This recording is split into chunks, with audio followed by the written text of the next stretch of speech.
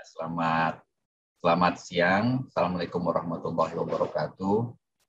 Salam sejahtera untuk kita semua yang saya hormati Dr. Umay sebagai uh, bersama dengan saya sebagai uh, anggota tim di perkuliahan Medan Elektromagnetika untuk para mahasiswa uh, S1 ya di siang hari ini hari Senin jam setengah dua ya kita kuliah agak siang mudah-mudahan kalian masih segar. Ya. Nah, ini pertemuan kedua yang merupakan lanjutan dari pertemuan tentang uh, pembahasan vektor ya yang minggu lalu itu sudah kita mulai dengan uh, dengan lancar. Jadi saya coba review ya apa yang uh, saya bersama Bu Maisaroh membahas pekan lalu. Uh, saya coba mereview uh, apa yang juga merupakan materi review ya. Karena ini bukan mata kuliah vektor, jadi kita hanya mereview tentang vektor. Kalian harusnya sudah belajar panjang ya. Hari ini akan kita perdalam lagi. Nah, yang pekan lalu saya bahas bersama Bu Umay itu tentang uh, ini penjumlahan dan pengurangan bukan pengukuran. Penjumlahan dan pengurangan vektor. Ya, kalian sudah belajar bahwa vektor itu bisa di jumlahkan dan bisa dikurangi, tetapi itu sebetulnya ya, sebetulnya pengurangan dan penjumlahan seperti itu itu hanya berlaku untuk Kartesius ya. Itu yang mungkin saya lupa tekankan. Jadi kalau di koordinat Kartesius KK ya, koordinat Kartesius itu yang X tambah X, Y tambah Y, Z tambah Z itu langsung begitu, tapi kalau di tempat yang lain harus hati-hati. Yang kedua, saya sempat juga menceritakan tentang perkalian vektor dengan skalar. Jadi saya punya vektor, ya katakanlah vektornya menuju ke suatu arah, gitu, suatu arah. Nah kalau saya kalikan dengan angka dua, maka dia akan memanjang menjadi dua kalinya. Saya kalikan dengan angka lima menjadi lima kalinya. Saya kalikan dengan angka setengah, dia jadi memendek. Ya, saya kalikan dengan sepertiga, dia memendek. Bahkan jika saya kalikan dengan besaran negatif, dia akan ber, berbalik arah. Ya. Nah, mungkin penekanannya bukan berubah arah, tapi berbalik arah. Ya. Kalau saya kalikan dengan angka negatif. Dan saya juga sempat lanjut dengan perkalian skalar dua buah vektor. Ya. Dia ada vektor A, vektor B, kita lakukan uh, dot product, ya perkalian titik atau perkalian skalar, yang intinya adalah proyeksi. Ya, jadi saya akan memproyeksikan, saya akan meletakkan satu vektor ke atas vektor lain. Ini ada beberapa aplikasi yang minggu depan uh, akan kita masuk ke dalamnya atau dua minggu lagi. Uh, itu kaitannya dengan dua buah vektor akan menghasilkan misalnya usaha, ya, akan menghasilkan flux, akan menghasilkan macam-macam, ya. Dan uh, dengan perkalian skalar ini pun juga kalian bisa bisa menghitung tegangan. Nanti kita akan bahas tentang itu. Kemudian dilanjutkan eh, pekan lalu itu dengan oleh Bu Dr. Moisaroh yaitu kaitan dengan perkalian silang dua buah vektor A cross B. Kita bilangnya cross product. Ya. Perkalian silang ini pada dasarnya merupakan perputaran atau torka. Ya, kalian nanti ketemu ini. Kalau kalian ingin memutar sebuah dinamo. Jadi kalau di motor listrik atau mesin listrik itu pasti ada perkalian silang. Nah, ini terutama sekali kaitannya dengan pertama dengan medan magnet, dengan gaya Lorentz ya. Nanti kalian akan ketemu gaya Lorentz. Itu akan terjadi perkalian silang. Nah, perkalian silang ini eh, hasilnya vektor juga ya. Jadi kalau perputaran itu pasti eh, vektor. Perkalian silang antara gaya dengan uh, lengan ya, lengan kerjanya. Nah, pekan lalu juga sempat disinggung sangat sebentar ya terkait pengenalan koordinat kartesius, koordinat silinder dan koordinat bola. Ini saya singkat biar tempatnya hemat ya. Koordinat kartesius, koordinat silinder dan koordinat bola. Yang hari ini saya akan lanjutkan nanti ya dengan agendanya yaitu lebih dalam lagi bekerja di koordinat kartesius, koordinat silinder, koordinat bola. Terutama yang pertama itu eh, kita akan memposisikan objek di sebuah titik di sebuah ruang, saya punya titik atau punya benda di sebuah ruang, nanti akan kita bilang gimana posisinya kalau kita gunakan koordinat kartesius, nah, bagaimana posisinya atau angkanya, padahal lokasinya lokasi yang sama, ya, tapi angkanya nanti berbeda tergantung uh, koordinatnya, ya. Tergantung kerangka koordinatnya, apakah kartesius, silinder atau bola. Kemudian yang tidak kalah penting tentu kita akan menggambarkan vektor. Kalian punya vektor. Vektornya menunjuk ke arah kanan saya misalnya. Nah itu menurut koordinat kartesius ke arah mana? Menurut koordinat silinder, koordinat bola ke arah mana? Kita bilangnya ke arah kanan. Ya, itu bahasa lapangan begitu. Kita belok ke kanan. Tapi kalau bahasa matematika kita harus bilang itu kesumbu X, itu kesumbu Y, itu kesumbu misalnya kesumbu rho atau kesumbu R di koordinat silinder dan koordinat bola. Dan di akhir dari perkuliahan hari ini uh, saya akan mereview ya mengurang, uh, mengulangi integrasi ya diferensiasi enggak ya integrasi uh, di koordinat Cartesius silinder dan koordinat bola. Ya. Saya lanjut ya, uh, saya ingin mengingatkan ke kalian Nah, minggu lalu itu di ujung dari perkuliahan ada eh, soal ya, ada tugas. Nanti saya harapkan Anda bisa bikin itu tugas, bisa eh, bisa di foto ya hasil coret-coretan kalian bisa dikirim ya bisa di-upload di apa di post ya kita bisa lihat nanti siapa yang upload nanti semua akan kita rekap ya Bu. Rumah ya kita rekap akan jadi TB1 tugas besar satu ya tolong kalian buat sebisa kalian. Ya saya sangat mengharapkan kerjain sendiri. Atau kerjaan sendiri itu maksudnya kalian belajar bersama ya. Kemudian coba sendiri. Ya. salah-salah sedikit nggak apa-apa. Baik. Saya mulai dengan uh, menggambarkan posisi dari sebuah benda atau sebuah titik di berbagai macam koordinat ya. Ini penggambarannya ya memang agak ngelihatnya itu harus melihat tiga dimensi. Jadi saya minta tolong kalian semua uh, belajar memahami secara tiga dimensi yang mudah-mudahan uh, kita ya step by step itu bisa bisa bisa memahaminya. Ya, yang pertama ini uh, kiri atas ya ada titik di koordinat kartesius, koordinat kartesian, titiknya ada di sini. Ya. Akan di informasikan dengan XYZ ya. Jadi kalau kita lihat di sini ini maka kita bisa katakanlah proyeksikan ya.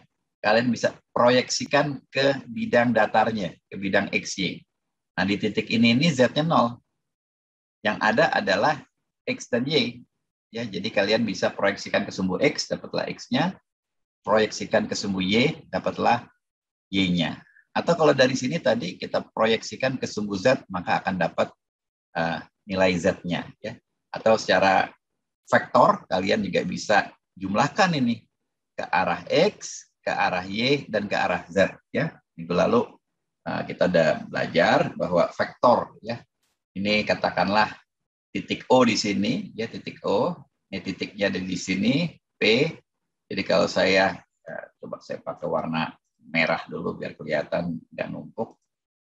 Kalau di sini itu akan jadi vektor ya.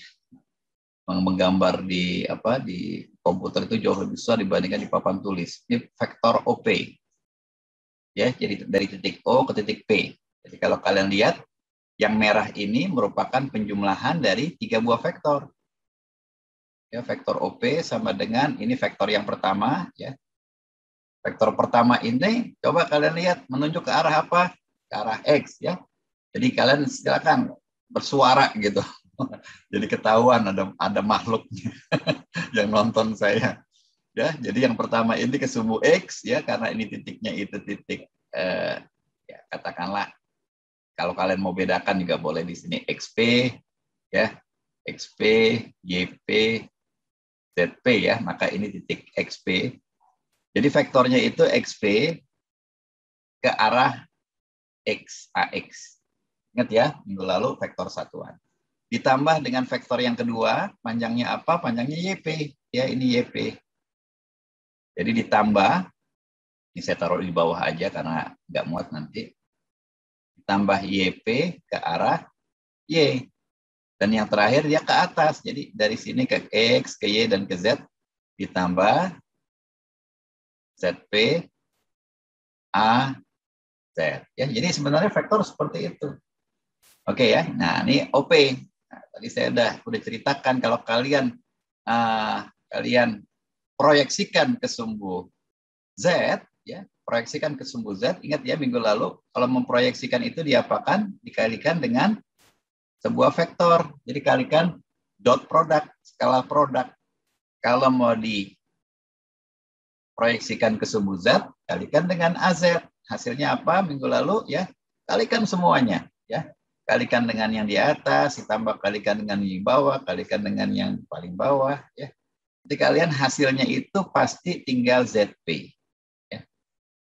Gitu. Karena perkalian titik AX dengan AZ itu nol. Perkalian titik AY dengan AZ itu nol. Perkalian AZ dengan AZ itu satu. Ya. Jadi ingat ini, keren banget ini konsep dari perkalian skalar itu proyeksi. Ya, karena banyak sekali proyeksi. Ya, kalian belajar macam-macam ilmu nanti habis ini akan ada uh, gambar vektornya. Itu proyeksi. Ya, bagaimana uh, kalian mendapatkan energi matahari ya untuk fotovoltaik itu proyeksi. Sinar menuju ke sebuah sebuah permukaan fotovoltaik. Kalian misalnya ingin menggerakkan katakanlah uh, layar ya sebuah sebuah perahu perahu layar itu dengan proyeksi. Jadi proyeksi-proyeksi itu penting. Nah, titik yang sama, titik yang sama ini ada di sebelah sini. Saya gambarkan, saya pindahin. Ini saya copy paste aja ya, yang warna uh, koordinat yang warna putih ini saya pindahkan ke kanan. Tidak lagi saya, gan, saya gunakan putih, tapi saya gunakan hitam putus-putus ini untuk x-nya dan untuk y-nya serta untuk z-nya. Semua putus-putus saya bikin. Saya pindahkan titiknya ini persis sama di tempat yang sama. Jadi ini titik xp X, YP, dan ZP tetap. Tapi saya ingin tampilkan secara silinder, gimana caranya. Jadi kalian harus ingat ya, kalau X, Y, Z ini berlaku hanya untuk koordinat kartesian. Ini X, Y, Z. Kalau koordinat silinder itu menggunakan rho, V, dan Z. Nah, ini ada. Z-nya sama dengan yang kiri, makanya saya ubah langsung Z-nya jadi warna putih sekarang. Nah, sekarang yang dua ini nih yang berbeda ya. Yang dua ini ini disebut juga sebagai koordinat polar. Agak berbeda dengan yang pertama tadi. Ya, kalau koordinat polar itu ngukurnya radial dari titik nol keluar radial. Kalau ini kan proyeksi, proyeksi ke z, proyeksi ke y dan ke atas. Kalau ini radial, keluar radial dari titik ini keluar ke ke, ke proyeksi titik yang bersangkutan ke sini ya. Kalau saya proyeksikan juga kemarin. Ya, ini adalah row saya. Jadi titik yang sama itu tidak lagi namanya XY, XP, YP, dan ZP, tetapi sekarang rho P,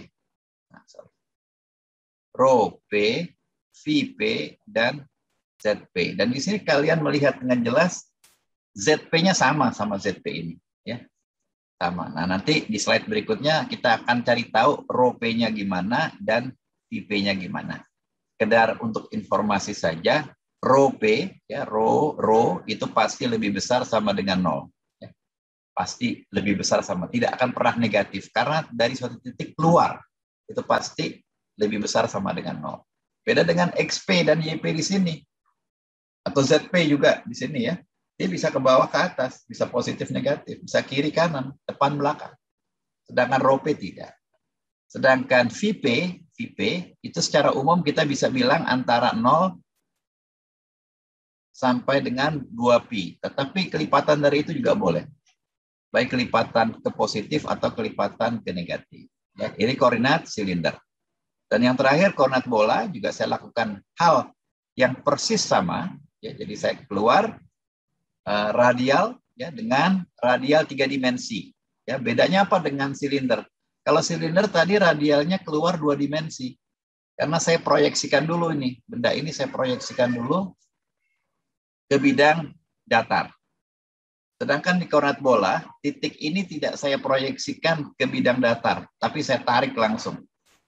Saya tarik dari titik nol ke titik yang bersangkutan. Ini semuanya OP. Ya, kalau ini saya bilang OP, P ini OP semuanya. Ya, jadi radial keluar. Kemudian apa bedanya dengan dengan uh, silinder uh, uh, lainnya adalah pertama dia ada rho, ada R pengganti rho radial. Kemudian dia ada theta. Theta ini sumbu atau sudut elevasi. Dan yang terakhir adalah V. Ini V yang sama. Ya, jadi ada beberapa yang sama yang nanti di perhitungannya nggak perlu dihitung langsung diambil. Ya. Nah sekarang yang perlu saya tekankan di sini adalah bagaimana kita memposisikan sebuah titik. Ya. Pertama ini kalau di sebuah bola kalian keluar dulu dari titik itu eh, dari titik nol ke titik itu. Ya. Itu radial. Tapi kalau kalian lihat gambar ini, ya filenya PDF-nya bisa kalian download dari POS saya justru naik ke atas aja. Ya, jadi kalau kalian bilang, misalnya, saya berikan sebuah titik P dengan koordinat R sama dengan 2, mudah-mudahan masih kelihatan ya. Theta sama dengan 30, dan V sama dengan 45. Misalnya saya bilang begitu, ini derajat-derajat. Maka yang saya lakukan adalah saya naik ke atas dulu. Saya naik vertikal ke atas, ke sumbu Z bilangnya ya sejauh dua. Dari titik nol saya akan naik ke titik ke sumbu Z sejauh dua. Nah sebetulnya ini kalian udah bisa bikin sebuah bola di sini dengan radius dua. Kemudian saya turun. Turun itu karena ini adalah sudut elevasi petanya. Jadi dari atas itu saya turun ke, ke bidang XY. Nah, saya turun sejauh dari sini, saya turun sampai jadi dari titik nol ya ke titik satu ini R-nya ke titik dua sejauh 30 derajat. Ya, jadi ini 30 derajat. Dan yang terakhir dari titik dua ke titik P ya. Jadi dari titik nol ke titik satu ke titik dua terus ke titik P dengan V 45 derajat ya. Ketemulah saya dengan titik tersebut. Ini jika saya informasikan sebagai contoh angka-angka uh, ini. Ya, jadi itu prinsip cara komposisiannya. Nah, cara menghitungnya sebagai berikut. Ya, nanti kita exercise, kita hitung dan saya akan tunjukkan geometrinya. Ya, karena dalam belajar vektor itu dua-duanya harus kita gabung. Yang minggu lalu berkali-kali saya ulang kualitatif dan kuantitatif. Ya, kalian harus tahu kualitasnya, jadi pemahamannya. Nanti geometri. Ya, tolong kalian kalian bisa membayangkan geometri tiga dimensi dengan melihat ruang kamar kalian. Kalian lihat ya, ada berbagai macam benda itu kalian lihat tiga dimensi. Dan yang kedua tentu ngitung. Nah, untuk ngitung ada rumusnya. Sekali lagi saya nggak mau turunin rumus ini ya, kita ambil aja dari mata kuliah uh, uh, vektor ya, mata kuliah analisa vektor. Kalian akan dapatkan ya, jadi kalau kalian punya sumbu, kalian punya koordinat punya posisi benda. Di koordinat kartesius ya kalian punya ini angkanya ya katakanlah satu satu satu. Maka di koordinat silinder berapa angkanya? Ini ngitungnya ya. Jadi kalian hitung ini kalian hitung v-nya begini kalian hitung z-nya. Oh z-nya nggak perlu dihitung. Oke selesai ya. Nah sekarang bagaimana kebalikannya? Kalian punya posisi sebuah benda ya. Kok ngomongnya benda mulu sih? Iya ini keren ini. Ini bisa kalian nanti belajar bikin drone ya. Bendanya tuh kalian bikin drone-nya lagi ada di atas terbang. Pakai apa? Pakai koordinat koordinat silinder ya, pakai koordinat silinder. Nah, terus gimana kalau saya ingin tahu pakai koordinat bola? Nah, itu kalau kalian belajar GPS, GPS juga pakai seperti itu. Satelit bikin uh, gitu, ya. Jadi kalau kalian punya row-nya, kalian punya V, kalian bisa ngitung X-nya, bisa hitung Y-nya. lagi Z-nya tidak ya. berubah. Jadi kalian uh, bisa di sini uh, dengan uh, apa enam ya enam enam rumus inilah katakanlah. Kalian bisa ya sebagai contoh menghitung perhitungan ini ya. Tapi saya akan akan hitung dulu ya nanti akan ada mas waktunya kalian saya minta hitung contoh perhitungan ya diberikan tiga titik di kartesian ya maksudnya di koran kartesian jadi ada tiga titik P1 Ya, ini titik-titik mudah ya karena pemahaman lebih lebih gampang dibandingkan ngitung. Tapi di sini juga saya akan challenge kalian ya.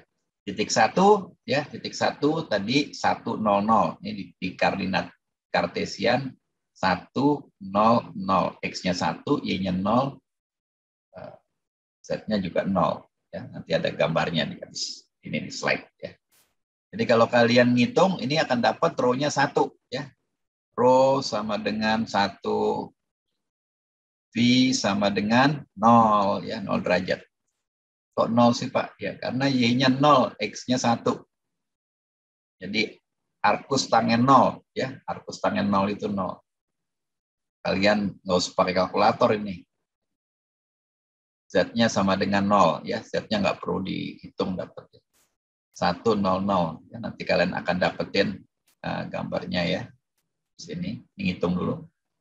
Titik yang kedua ya ini dari atas ini P2 0 1 0 jadi ditukar aja 0 1 0 ditukar. Nanti yang terakhir ini 0 0 1 ya. Gampang tetapi menantang. Gampang tapi nyusahin ini jangan dianggap gampang ya. Nah, untuk perhitungan yang P2, saya pelan-pelan sekarang. Yang P2, nah, row-nya masih gampang ya, row-nya 1, kenapa 1? Ya 0 kuadrat ditambah 1 kuadrat akar 1 ya. Nah, yang menantang ini nih, perhitungan V. Jadi kalian akan menghitung Y dibagi X. Ya, Y-nya itu 1, X-nya 0. Ya, tak teringga. Ya, tak teringga. Arkus tang tangan tak teringga berapa? 90 derajat derajat. Itu nggak nggak nggak nggak bisa dihitung. Kalkulator kalian nggak bisa masukin tatriga. Kalau nggak bisa masukin tatriga, masukin angka yang besar sekali, sejuta, sepuluh juta gitu ya. Nah, terus juga yang saya ingin tekankan ke kalian ya, tolong nanti di kalkulator kalian itu ada settingan degree, ada settingan radian. Nah itu ya hati-hatilah sama keduanya ya. Ini settingan degree nih. Kalau settingan radian keluarnya pi per 2. Ya. 3,145 per 2 ya. ya saya nggak bisa di kepala saya. Ya, jadi tolong hati-hati ya, jangan nyalain kalkulator kok hasilnya nggak segitu Pak. Jadi kalau kalian pakai kalkulator masukinlah tangen inverse 10 pangkat 10. Nah, kalau masih bisa masukin. Dengan settingan degree, nanti mungkin hasil kalkulator kalian 89,999. Ya. Ini tidak bisa pakai kalkulator untuk angka ini karena kalkulator itu kemampuannya tidak sepinter otak kita. Ya, otak kita mengatakan V-nya untuk 0, 1, 0 itu 90 derajat. Sekali lagi Z-nya nggak perlu dihitung, jadi Z-nya semua sama. Z-nya semua sama. Ya. Yang terakhir P3, ya P3, P3 itu titiknya 001. Ini mudah sekali ya untuk hitung row-nya. Untuk hitung row-nya ya jelas 0. 0 kuadrat tambah 0 kuadrat 0 ya. Nah, ini yang menarik nih. Yang menarik, berapa V-nya? Berapa V-nya? Kalau tadi itu gampang banget yang tadi ini. Ya, di perhitungan P1 ini gampang sekali. Gampang sekali. Senyum ya. Di perhitungan P2, aduh udah mulai. Gimana ceritanya nih Pak? Ya. Nah, di perhitungan ketiga kita nangis ini, ya nangis.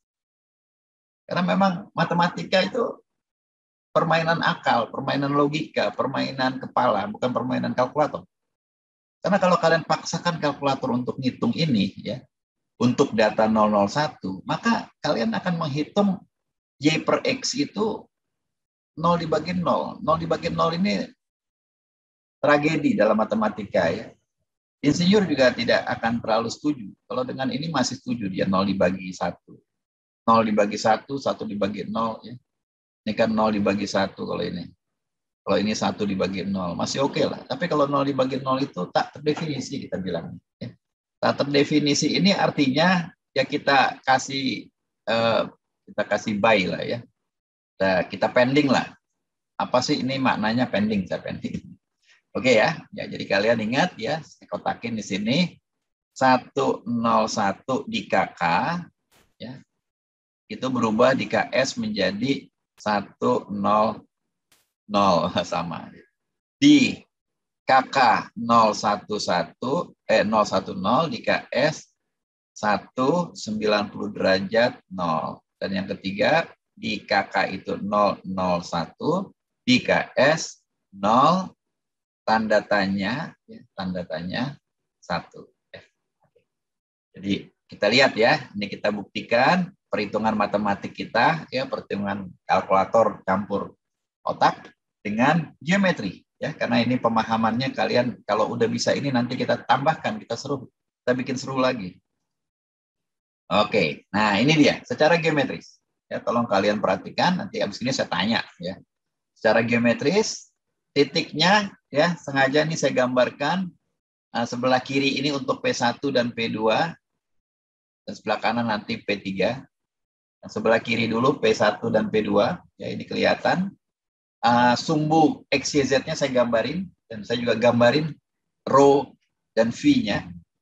Titik P1 ya tadi kita sudah sepakat ya P1 itu 100 ya P1 100 itu di KK, di KS-nya 100 juga ya. 100 itu X-nya 1. Jadi kita kemari sejauh 1 ke arah X. Y-nya 0 berarti jangan ke arah Y karena Y-nya 0. Z-nya 0, jangan ke arah Z, karena Z-nya 0. Berarti kita di sini. Menurut Cartesius. Cartesian, Cartesius. Nah, sekarang menurut uh, silinder, ya, artinya saya akan menuju ke lingkaran radius 1. R, uh, sorry, rho sama dengan 1. Jadi kalian gambarkan ini lingkaran dengan radius 1 sorry saya gunakan rho ya, bukan R. R itu untuk koordinat bola.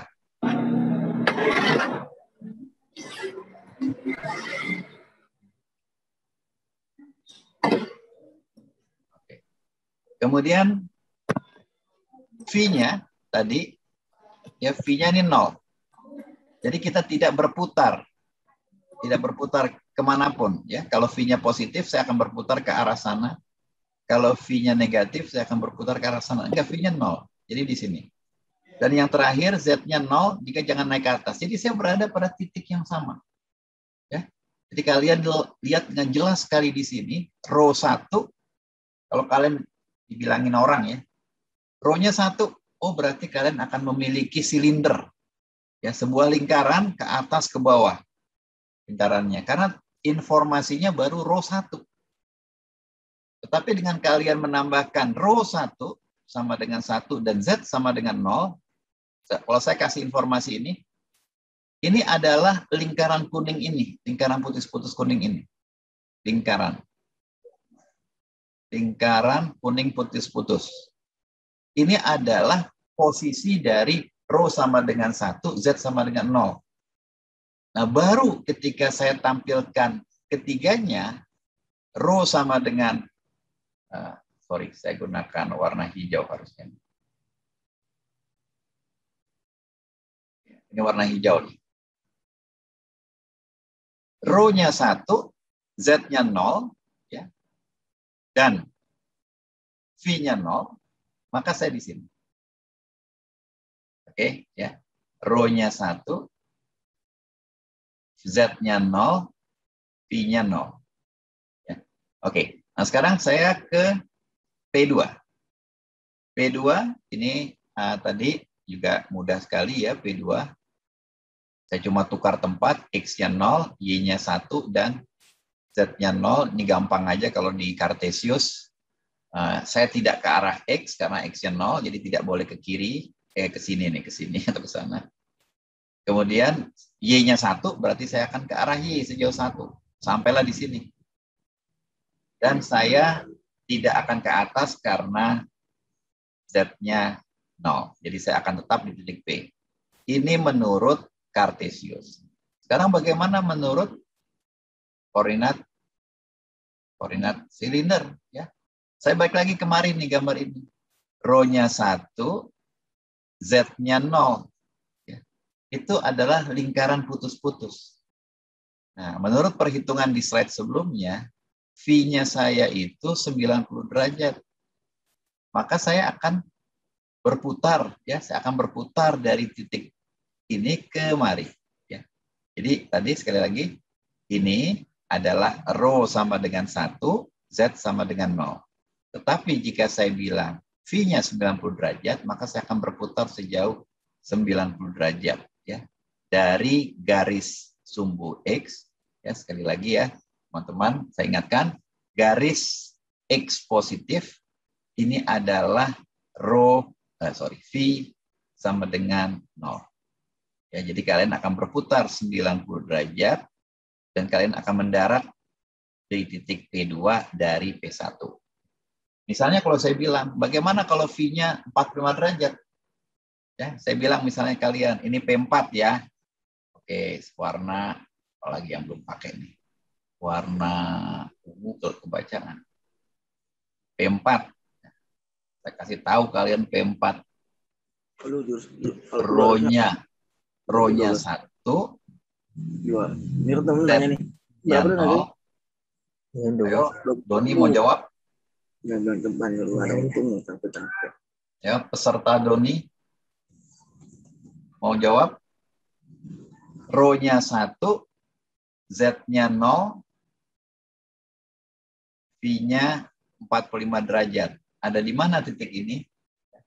Ada di mana titik ini? Ya, jadi kalian ingat lagi.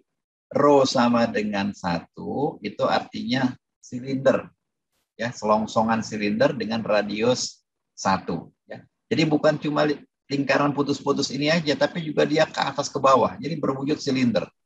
Jadi kalau saya gambarin begini nih, silinder. Nah, gara-gara saya bilang Z-nya sama dengan 0, maka jadilah lingkaran putus-putus. Sekarang saya tambahkan V-nya 45 derajat.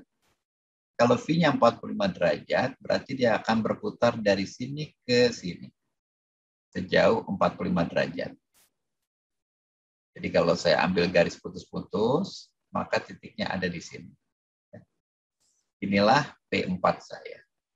Dan terus bisa saya lanjutkan dengan berbagai macam contoh soal, dan kalian silakan latihan, dan bisa nanti akan kita tanya gitu kalian. Ya, karena akan makin, uh, pertanyaan akan makin uh, serius.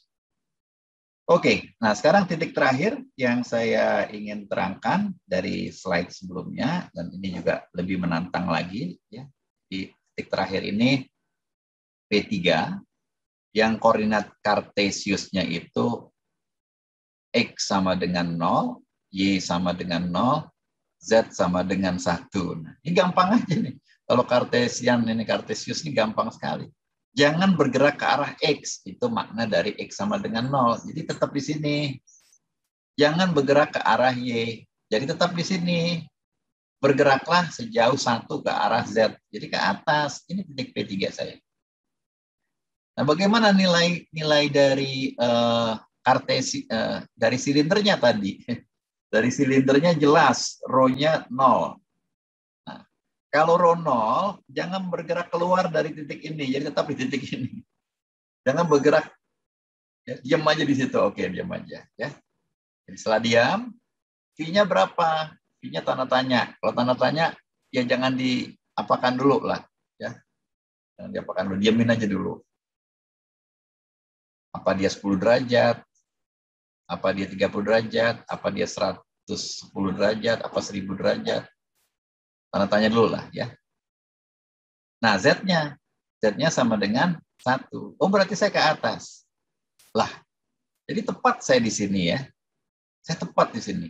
Ya berarti ini nggak penting. Ya, kalian bisa bayangkan, saya berada pada sebuah titik. Saya berada pada sebuah titik putar, dan saya harus berputar. Maka sejauh apa pun saya berputar, nggak penting. Ya. Jadi V itu penting ketika dia berada di luar sumbu Z.